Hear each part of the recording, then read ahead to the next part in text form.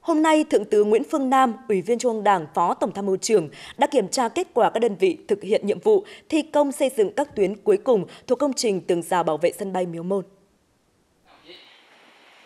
Đến chiều tối nay, cơ bản các đơn vị đã hoàn thành các tuyến tường rào được phân công theo kế hoạch và một số đơn vị đã đưa bộ đội hành quân trở về đơn vị.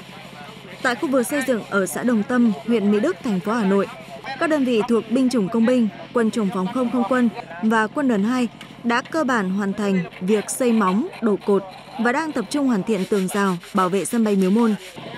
Các đơn vị tiếp tục thi đua, tổ chức nhiều ca liên tục để đảm bảo tiến độ.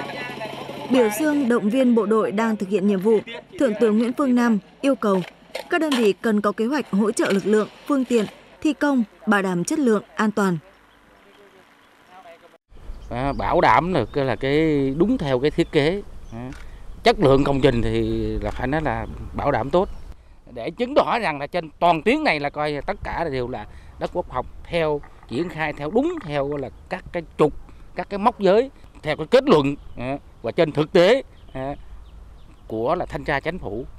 Và trong cái công tác ờ, bảo vệ bảo quản thì cái này là coi đề nghị quân chủ phòng không không quân là phải giao cho cái lữ đoàn hả? Dạ vâng, lữ đoàn lữ đoàn 28. Lữ đoàn quân 28 là đơn vị trực tiếp quản lý cái này à, thì phải có trách nhiệm à, là quản lý. À. Trong giai đoạn hoàn thiện thi công, các cơ quan đơn vị tiếp tục duy trì nghiêm chế độ, chấp hành nghiêm kỷ luật, đoàn kết, khắc phục khó khăn, chủ động và sáng tạo trong thực hiện nhiệm vụ. Các đơn vị tiếp tục làm tốt công tác quản lý, động viên bộ đội, chủ động tuyên truyền và vận động nhân dân chấp hành nghiêm pháp luật.